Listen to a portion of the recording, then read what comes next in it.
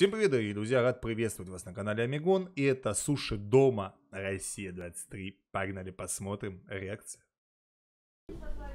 Блять, ты заебал, неделю не доебался. Что ты опять начинаешь с моей камеры размахивать? Нахер. Это Владимир, гений авторской кухни. Долгие годы парень оттачивал мастерство, готовя здесь только пельмени и доширак. Сейчас повар уверен, на своей кухне он может сделать все, что угодно, кроме ремонта. Поебись нахуй, сука, журналист ебучий, блядь. Получив комплимент от шеф-повара, мы решили узнать, какой шедевр кулинарии он решил приготовить сегодня. Насколько я понимаю, креветки это будут суши Эбби. Сука, не еби мне мозг. Эй, роллы готовы. нахуй. Владимир готов творить, однако в самом начале у гениального повара что-то пошло не так. А чё, Блядь, нормально скручивает. Чем, сука, это деревянная штучка. А все почему, блядь? Рис что ты с хорошо камерой. Сука, пиздец. Чем их крутить, нахуй? Владимира считают гением кулинарии не просто так, чёрт. ведь он легко справляется с любой проблемой на кухне. Так коврик от мышки, я его помыл, нормально сейчас будет. Преодолев трудности, парень приступил к созданию кулинарного шедевра. В видосе я видел, что-то раскладывают его вот так вот. Сука, рис говняный, блядь.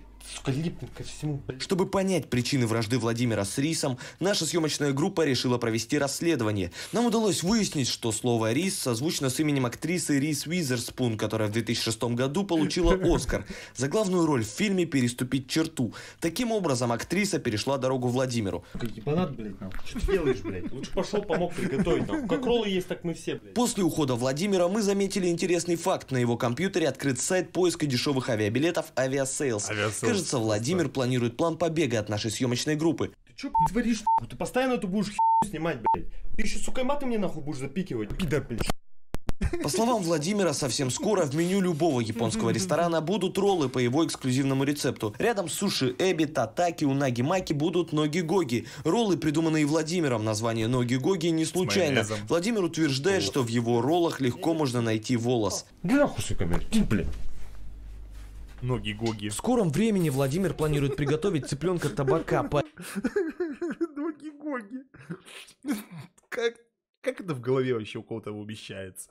Парень уверен, что легко справится с этой задачей, ведь он сам родом из табакерки.